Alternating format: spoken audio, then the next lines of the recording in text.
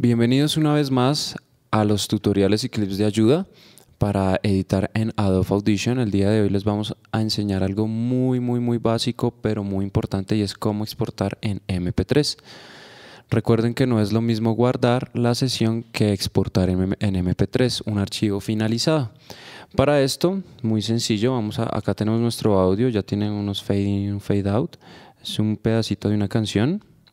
Aquí vamos a escuchar un poquito. In the hotel at night. I knew I had him at my match, but every moment we get snatched. I don't know why I got so attached.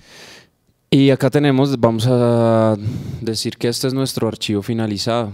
Entonces no le vamos a decir guardar, ¿cierto? Porque acá tendríamos que guardar nuestra sesión.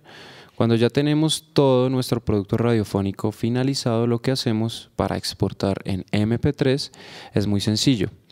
Seleccionamos lo que vamos a exportar, en este caso nuestro audio, ¿cierto? Lo seleccionamos, aquí nos damos cuenta por el cambio de color, y luego nos vamos a la ventana de archivo, exportar mezcla de audio. Al darle exportar mezcla de audio ya no vamos a guardar una sesión editable, sino vamos a guardar un archivo finalizado. Acá vemos que nos sale nuestra ventana, entonces le damos un nombre, Si le damos un nombre en MP3, acá vemos el tipo de archivos. Si algún día queremos usar otro tipo de archivo o nos solicitan otro tipo de archivo, aquí hay .wap, WMA.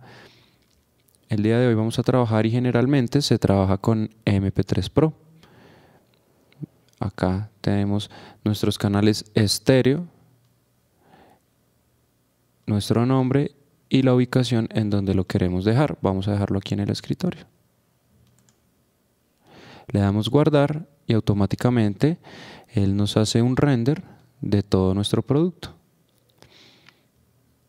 Y nos abre nuestro producto ya finalizado. Vamos a multipista. Y vamos a abrir nuestra canción. Aquí vemos ya en MP3 for you in the hotel at night. I knew I had him at my match, but every moment we get snatched. I don't know why I got so attached. It's my responsibility, and you don't own yo. You don't play myself again. Y ahí queda completo con nuestro fade in y fade out. Y nuestro archivo es muy sencillo, como vemos aquí. Acá queda nuestra canción. Acá la vemos, canción final. Queda en formato MP3. Así que una vez más, cualquier inquietud o duda, no duden en acercarse al estudio de radio. Espero que les haya servido mucho y recuerden siempre seleccionar lo que quieren exportar. Muchas gracias. Chao.